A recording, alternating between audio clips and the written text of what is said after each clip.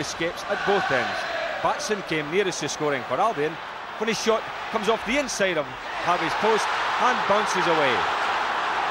The goal finally came with only seven minutes of extra time left. The ball comes out to the edge of the box. John Wile left foot and Harvey has no chance. Well, with Leeds desperately trying to get back on terms, Albion scored again. Bit of a mix-up in the middle of the field here. Paul Madeley with the ball, knocks it through. Ally Brown's pace leaves Parkinson stranded, goes round the goalkeeper and slots it in there from an acute angle.